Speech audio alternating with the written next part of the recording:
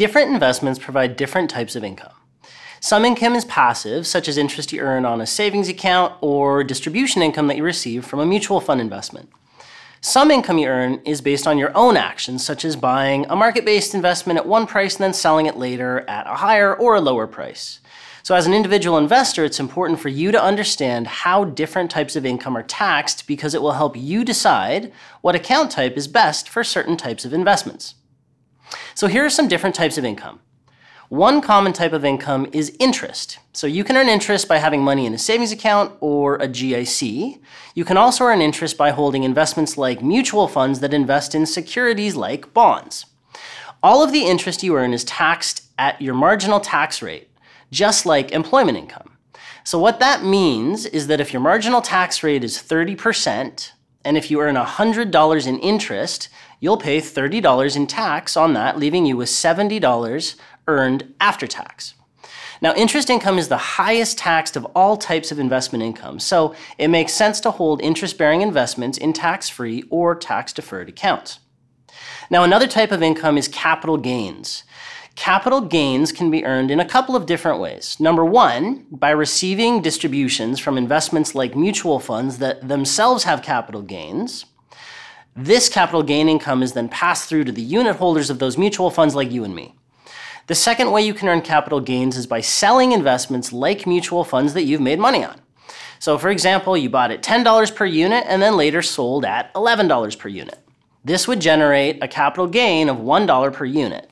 Now, as an investor, you're taxed on 50% of that capital gain. So, again, if you made $100 in capital gain income, you're taxed on 50% of that, or in this case, $50. If your marginal tax rate was again 30%, it means that you'll pay 30% of $50 or $15, uh, leaving you with $85 after tax. So as you can see, capital gains income is much more tax efficient than interest income. Now the last type of income we'll discuss is dividends. So you can earn Canadian dividend income by holding individual securities like stocks that pay distributions directly. You can also earn dividend income by holding investments like mutual funds that invest in companies that pay dividends. In both cases, dividend income is passive income, meaning that you didn't have to do anything. You didn't have to initiate a transaction in order to actually receive it. All you had to do was hold the security. Now, dividends are taxed in a different and slightly more complicated way than either interest or capital gain income. So, to recap, all of the interest you earn is taxed, but only half your capital gain is taxed.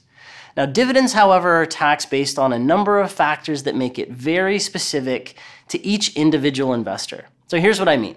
Dividends can be either eligible or non-eligible. They can be foreign as well. All three types are taxed differently. Now, two other factors that affect how dividends are taxed are number one, how much income you earn, and number two, which province you live in. So dividends benefit from a federal tax credit, but also a provincial tax credit, which has varying rates actually depending on your province.